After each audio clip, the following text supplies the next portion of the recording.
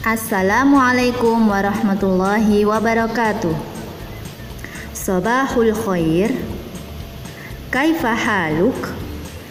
Alhamdulillah, ana bil khair aidon. Hari ini kita akan mengenal cara membaca fawatihus suwar atau huruf mukotoah. Yang pertama, dibaca sesuai dengan nama hurufnya. Selain huruf H, Ya, To, H, dan Ro. Yang kedua, berlaku hukum tajwidnya. Panjang pendek, tebal tipisnya huruf, dan dengungan-dengungannya. Yang ketiga, tidak boleh dibaca putus-putus. Artinya, harus satu kali tarikan nafas. Berikut adalah cara membaca fawatihus suar atau huruf mukotoah. Nun. Qaf.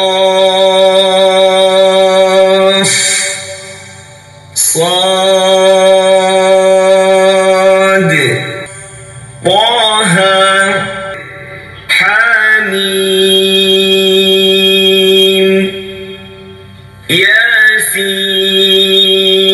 طاسين.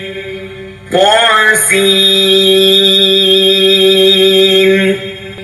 ألف لام را. ألف لام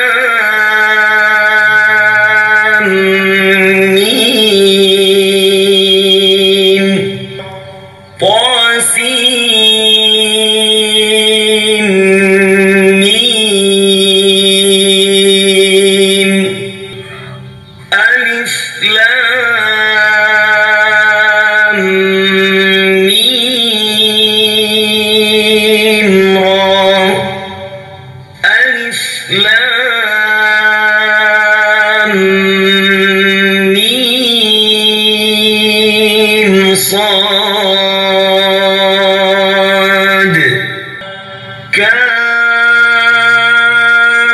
Ha Ya Ain Sad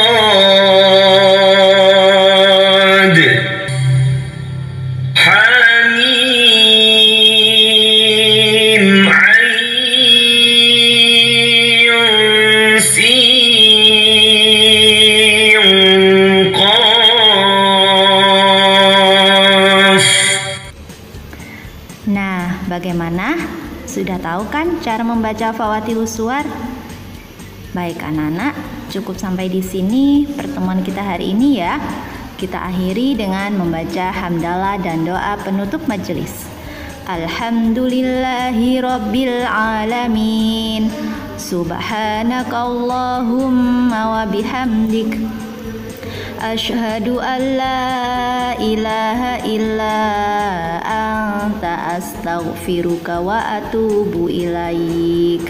Pesan ustazah, don't forget to pray on time, don't forget to obey your parent, don't forget to read Holy Quran, don't forget to study hard, and be careful. Wassalamualaikum warahmatullahi wabarakatuh.